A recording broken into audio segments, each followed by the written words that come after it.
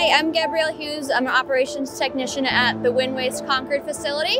Uh, this is where we take in all of our refuse, which then gets produced into electricity and goes back out into the grid. So behind me, you can see one of our own WIN Waste Innovations trash trucks coming on our scale um, to be weighed in prior to dropping off the refuse, just so we can kind of manage how much refuse we're bringing in each day. So they come onto the scale, they meet our lovely scale operators, uh, they get weighed in. Once they leave the facility, they get a slip to bring back to their transfer station or wherever they came from, stating where they dropped off the refuse. The trucks bring the refuse into the tipping floor. Um, they have since dropped it into our pit and our loader operator has pushed it into the pit trench. As you can see behind me, our crane operator is working on picking up the refuse, fluffing it out, um, checking for any waste ban, any materials that we can't accept that we don't burn at this Concord location. Um, they do fluff the trash out just to try to give it some more room, take out the density of the material, and then put it in the hopper at an even feed rate for both of our boilers. Now we have moved over to the feed hoppers. This is our first boiler. Um, so pretty much what we're looking at here is the pits on the other side of this incline. The uh, crane operator would bring a load of refuse in and they do a 70-30 dump. So not all the refuse makes it in. Some of it does go back into the pit, um, but they usually will come in, drop it down, it will slide down this feed chute, which then um, arches. It has sections of mechanics that move to allow the trash to evenly go through and not overwhelm the boiler with too much trash at once.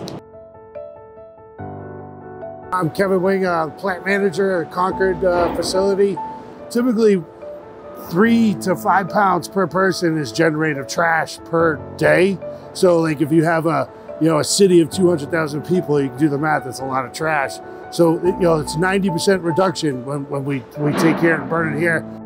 So it takes about 45 minutes from the waste would come down the feed chute from the charging deck where we were down to the fourth zone. So the boiler is designed with four different zones and you, you typically want to have a good a good composite refuse as it's going down, good burnout. So you don't want to have unburnt trash on, on zone four you want to have all ash and, and, then the recycled metal that's going to dump off down the stairs into the conveyor system where it quenches itself.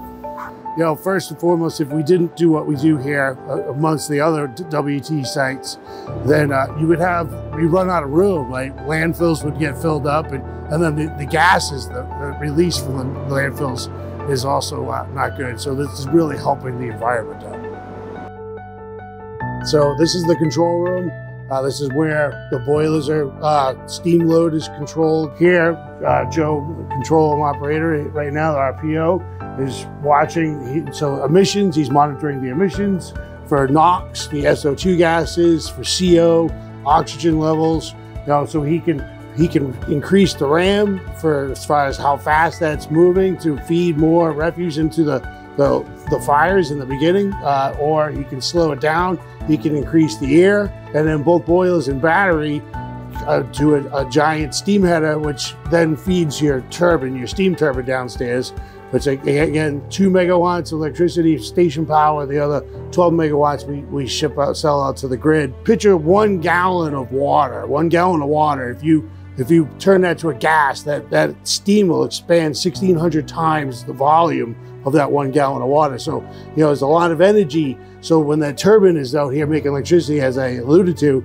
that turbine is actually being spun by the steam that we're generating from burning the trash. This is our switch gear. This is the turbine where the generator is making electricity. So in here, it's 34,500 volts. That's enough to power 10, about 10,000 homes in this area. WIN Waste Innovations uses renewable energy to help prevent using more oil, coal, and natural gases from our beautiful planet. Um, this helps us give a 90% removal rate um, just to try to keep the landfills a little bit lower volume where we can take it and incinerate it. Uh, putting ash into a landfill has a lot less volume than normal trash. We appreciate your time coming down and, and uh, doing a plant tour so you can actually roll up the curtains and see behind actually what we do here. Thank you for stopping by WIN Waste Innovations. Uh, we look forward to working with the Concord community to um, have a more sustainable future. Thank you.